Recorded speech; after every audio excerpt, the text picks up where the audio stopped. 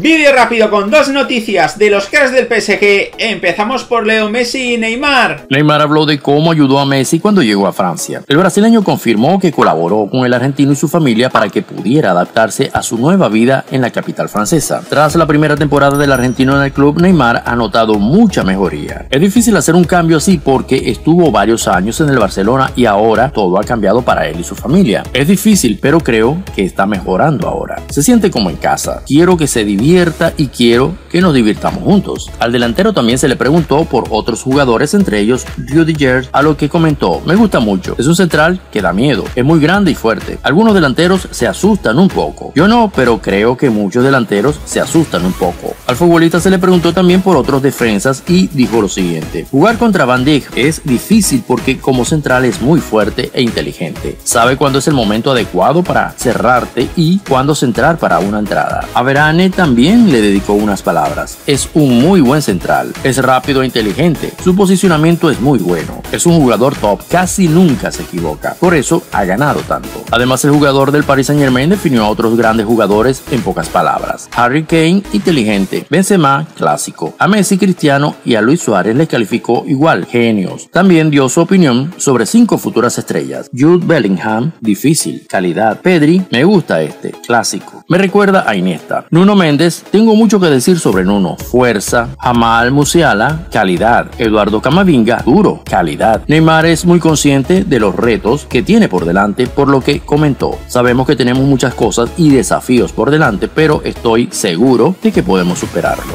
Por tanto, Neymar que sorprende con estas declaraciones sobre Leo Messi y sobre otros jugadores. Vamos a hablar del otro integrante del tridente del PSG en esta temporada 22-23 de Kylian Mbappé y vamos a ver el toque de atención que le dio tremendo a un compañero y amigo suyo en uno de los últimos partidos del equipo.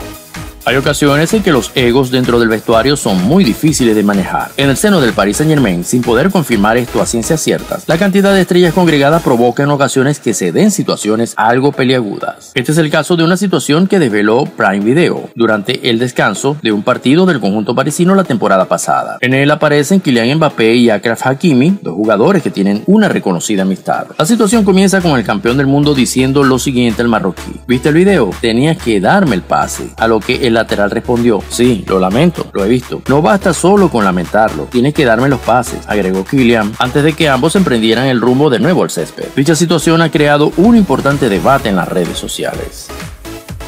Por tanto, Mbappé que no pasa ni una, ni siquiera sus amigos.